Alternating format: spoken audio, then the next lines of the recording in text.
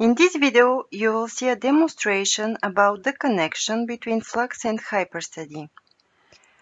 We use a tutorial example of magnetic contactor designed and solved with Flux2D magnetostatic application. The baseline model contains uh, several geometric parameters to control the magnetic core and the coils, as well as physical parameter to control the current in the coils.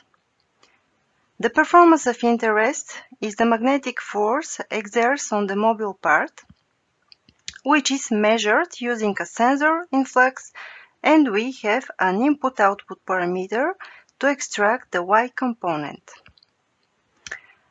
So the model is ready to be explored with HyperStudy and we can go ahead and generate a component for HyperStudy coupling using the command through the solving menu.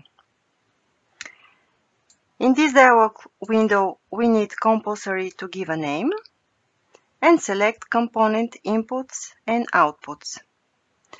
Let's go ahead and select all the geometric parameters as well as the physical parameter for the current.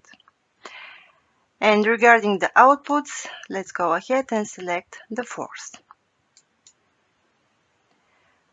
Once we are ready, we hit OK which will generate component for HyperStudy. Let's look now in the working folder where you will see two new items, a duplication of the baseline flux model as well as a link file with extension F2HST. These two items are used by HyperStudy to establish the connection. Now let's go ahead and open a HyperStudy session.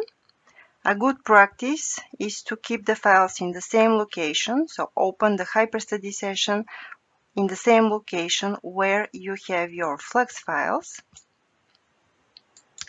New study and paste the path. In order to create the connection, you can either add model, select Flux, and browse the F2HST you have exported from Flux. Or you can also use the access to directory and simply drag from directory and release in the working area the F2HST file. After this we click import in order to bring in HyperStudy the list of inputs and the outputs you have we have selected from Flux.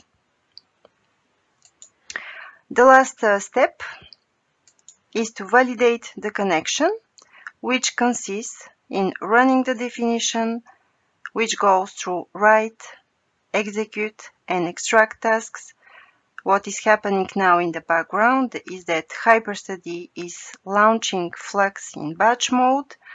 Open the model, um, change the parameters, mesh again the geometry, and solve it.